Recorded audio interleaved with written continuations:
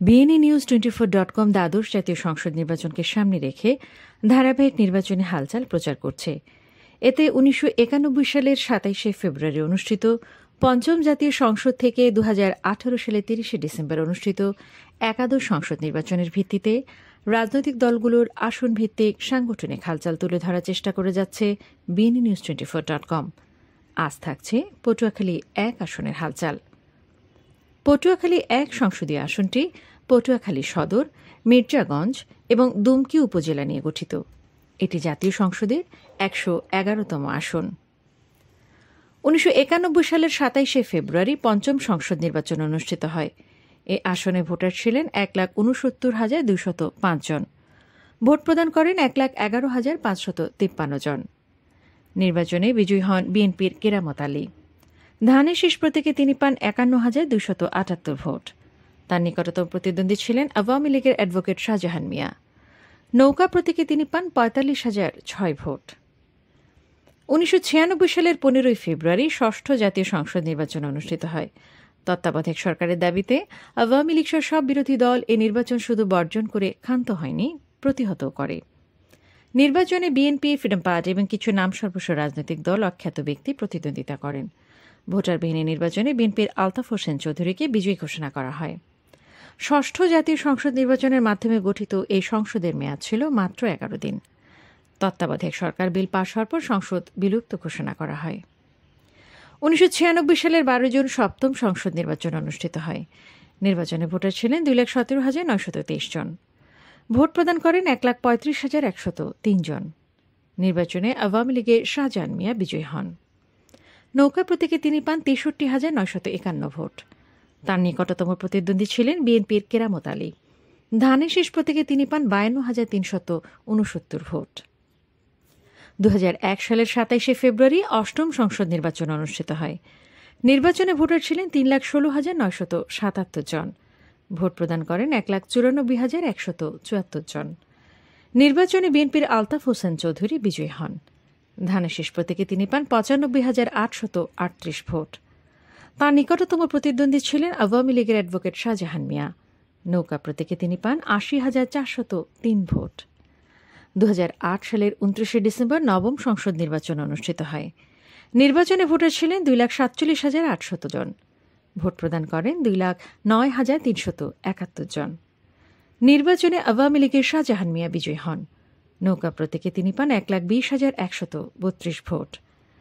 তার নিকটতম প্রতিদ্বন্দ্বী ছিলেন বিএনপির আলতাফ হোসেন চৌধুরী। ধানের শেষ প্রতীকে তিনি পান তিয়াত্তর হাজার সতেরো ভোট। দু হাজার চোদ্দ সালের পাঁচই জানুয়ারি দশম জাতীয় সংসদ নির্বাচন অনুষ্ঠিত হয়। নির্বাচনে ভোটার ছিলেন তিন লাখ তেত্রিশ হাজার আটশত পঁচানব্বই জন। ভোট প্রদান করেন এক লাখ সতেরো হাজার পাঁচশত চুয়াত্তর জন। নির্বাচনে জাতীয় পার্টির A B M Ruhul Amin Howlader বিজয়ী হন। লাঙ্গল প্রতীকে তিনি পান উনআশি হাজার দুইশত তিন ভোট। তার নিকটতম প্রতিদ্বন্দ্বী ছিলেন স্বতন্ত্র প্রার্থী মোহাম্মদ শফিকুল ইসলাম। আনারস প্রতীকে তিনি পান পঁয়ত্রিশ হাজার পাঁচশত বিরাশি ভোট। তত্ত্বাবধায়ক সরকারের দাবিতে বিএনপি নেতৃত্বাধীন বিশ দলীয় জোট এ নির্বাচনে অংশগ্রহণ করেনি। দু হাজার আঠারো সালের তিরিশে ডিসেম্বর একাদশ সংসদ নির্বাচন অনুষ্ঠিত হয়। নির্বাচনে ভোটার ছিলেন তিন লাখ তিরানব্বই হাজার চারশত ছিয়াত্তর জন। ভোট প্রদান করেন তিন লাখ চার হাজার পাঁচশত ছিয়াত্তর জন। নির্বাচনে প্রার্থী ছিলেন ছয়জন নৌকা প্রতীকে আওয়ামী লীগের অ্যাডভোকেট শাহজাহান মিয়া ধানের শেষ প্রতীকে বিএনপির আলতাফ হোসেন চৌধুরী, কাস্তে প্রতীকে সিপিবির আব্দুল মতলেব মোল্লা, গোলাপ ফুল প্রতীকে জাকির পার্টির আব্দুর রশিদ, আম প্রতীকে ন্যাশনাল পিপলস পার্টির সুমন সন্নামত, হাত পাখা প্রতীকে ইসলামী আন্দোলন বাংলাদেশের আলতাফুর রহমান প্রতিদ্বন্দ্বিতা করেন। নির্বাচনে আওয়ামী লীগের অ্যাডভোকেট শাহজাহান মিয়া বিজয়ী হন। নৌকা প্রতীকে তিনি পান দুই লাখ বাহাত্তর হাজার সাতশত নব্বই ভোট। তার নিকটতম প্রতিদ্বন্দ্বী ছিলেন ইসলামী আন্দোলন বাংলাদেশের আলতাফুর রহমান। হাত পাখা প্রতীকে তিনি পান মাত্র চোদ্দ হাজার আটশত পঁচাত্তর ভোট। কারচুপির অভিযোগে বিএনপি নেতৃত্বাধীন জাতীয় ঐক্য ফ্রন্ট নির্বাচন বর্জন ও ফলাফল প্রত্যাখ্যান করে। পর্যবেক্ষণে দেখা যায়, পটুয়াখালী এক আসনে পঞ্চম, ষষ্ঠ ও অষ্টম সংসদে বিএনপি সপ্তম, নবম ও একাদশ সংসদে আওয়ামী লীগ এবং দশম সংসদে জাতীয় পার্টি বিজয়ী হয়। দ্বাদশ সংসদ নির্বাচনকে সামনে রেখে বিএনএ নিউজ টোয়েন্টি ফোরের গবেষণা টিম দৈবচয়ন পদ্ধতিতে সারা দেশে জরিপ চালায়। জরিপে অংশগ্রহণকারী বেশিরভাগ ভোটার উনিশশো একানব্বই সালের পঞ্চম, উনিশশো ছিয়ানব্বই সালের সপ্তম দু এক সালের অষ্টম ও দু হাজার আট সালের নবম জাতীয় সংসদ নির্বাচনকে সুষ্ঠু, নিরপেক্ষ ও অংশগ্রহণমূলক হয়েছে বলে অভিমত ব্যক্ত করেন। তারই ভিত্তিতে BNA news twenty four Patuakhali এক আসনে পঞ্চম, সপ্তম, অষ্টম ও নবম এ চারটি নির্বাচনের প্রদত্ত ভোটের পরিসংখ্যানকে মানদণ্ড ধরে আওয়ামী লীগ, বিএনপি, জাতীয় পার্টি ও জামায়াত ইসলামের সাংগঠনিক শক্তি বিশ্লেষণের মাধ্যমে একটি কল্পানুমান উপস্থাপনের চেষ্টা করেছে। অনুসন্ধানে দেখা যায়, উনিশশো একানব্বই সালের পঞ্চম সংসদ নির্বাচনে ভোট প্রদান করেন উনচল্লিশ দশমিক শূন্য সাত শতাংশ ভোটার।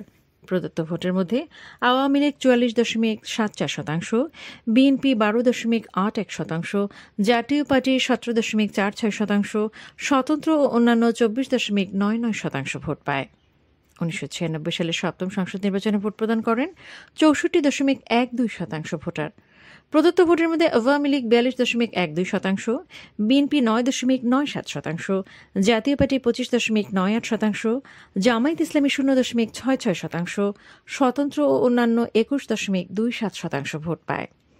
দু হাজার এক সালের অষ্টম সংসদ নির্বাচনে ভোট প্রদান করেন তেষট্টি দশমিক শূন্য শূন্য শতাংশ ভোটার। প্রদত্ত ভোটের মধ্যে আওয়ামী লীগ বায়ান্ন দশমিক পাঁচ এক শতাংশ, চার দলীয় জোট শূন্য দশমিক পাঁচ দুই শতাংশ, জাতীয় পার্টি ছেচল্লিশ দশমিক আট ছয় শতাংশ, স্বতন্ত্র অন্যান্য শূন্য দশমিক এক এক শতাংশ ভোট পায়।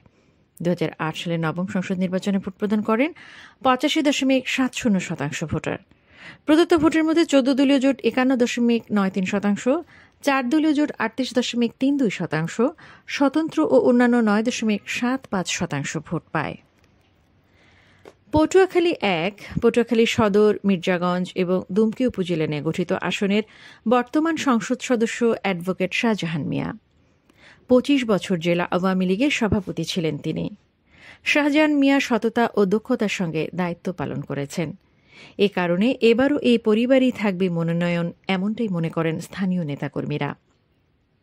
বয়সের কারণে তিনি নির্বাচনে মনোনয়ন না চাইলে তার ছেলে সাবেক উপজেলা চেয়ারম্যান ও বর্তমান পৌর আওয়ামী লীগের সাধারণ সম্পাদক অ্যাডভোকেট তারিকুজ্জামান মনি মনোনয়ন চাইবেন।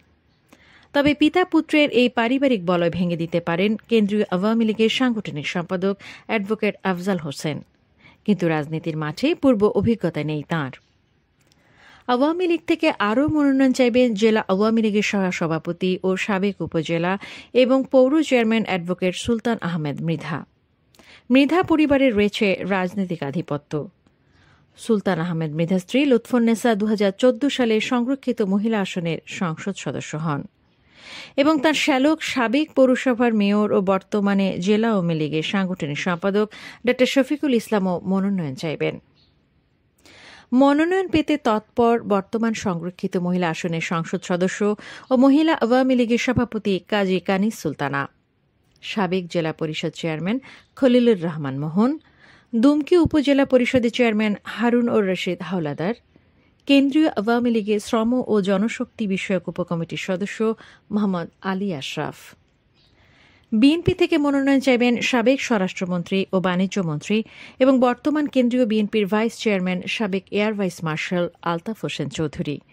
এছাড়া মনোনয়ন চাইবেন পটুয়াখালী জেলা বিএনপির সদস্য সচিব স্নেহাংশু সরকার কুট্টি এবং সাবেক পৌর মেয়র ও জেলা বিএনপির সদস্য মুশতাক আহমেদ বেনু। জাতীয় পার্টি থেকে মনোনয়ন চাইবেন A B M Ruhul Amin Howlader. পটুয়াখালীতে সাংগঠনিক কিংবা ভোটের মাঠে জাতীয় পার্টির কোনো অবস্থান না থাকলেও আওয়ামী লীগ কিংবা বিএনপির কাঁধে চড়ে দ্বাদশ সংসদের নির্বাচনের ফসল ঘরে তোলার চেষ্টা চালাতে পারেন তিনি। তথ্য উপাত্ত বিশ্লেষণে দেখা যায়, পটুয়াখালী এক সংসদীয় আসনটিতে স্বাধীনতার পর উনিশশো তিয়াত্তর, উনিশশো উনআশি, উনিশশো ছিয়ানব্বই দু ও দু হাজার আঠারো সালে আওয়ামী লীগ বিজয়ী হয়। বিএনপি বিজয়ী হয় উনিশশো একানব্বই ও দু হাজার এক সালের সংসদে। উনিশশো ছিয়াশি, উনিশশো অষ্টআশি ও দু হাজার চোদ্দ সালে এ আসন থেকে সংসদ সদস্য নির্বাচিত হন জাতীয় পার্টির প্রার্থী। এ পরিসংখ্যান বলছে, পটুয়াখালী এক আসনটি কোনো রাজনৈতিক দলেরই একক ঘাঁটি নয়। সব দলে রয়েছে কম বেশি সাংগঠনিক ভিত। পাশাপাশি রয়েছে দলীয় ব্যক্তিকেন্দ্রিক কোন্দল। সবচেয়ে বেশি কোন্দল রয়েছে আওয়ামী লীগে, যা নির্বাচনে বড় ধরনের প্রভাব ফেলবে। ফলে একক প্রার্থীর সমর্থনে দল সাজাতে হিমশিম খাচ্ছে আওয়ামী লীগ। দ্বাদশ সংসদ নির্বাচন সুষ্ঠু, নিরপেক্ষ অংশগ্রহণমূলক হলে জাতীয় সংসদের একশো এগারোতম পটুয়াখালী এক সংসদীয় আসনটিতে আওয়ামী লীগ আবারও বিজয়ীর ফসল ঘরে তুলতে পারবে কি না, তা নিয়ে সংশয়, সন্দেহ থেকেই যাচ্ছে। প্রতিবেদনটি ভালো লাগলে শেয়ার করুন, অন্যদের জানার সুযোগ দিন। প্রতিদিন ধারাবাহিকভাবে প্রচারিত আসন ভিত্তিক গবেষণামূলক প্রতিবেদনগুলো দেখুন এবং নিজের রাজনৈতিক জ্ঞানকে সমৃদ্ধ করুন। লাইক, কমেন্ট ও সাবস্ক্রাইব করে বিএনএ নিউজ টোয়েন্টি ফোরের সঙ্গে থাকুন।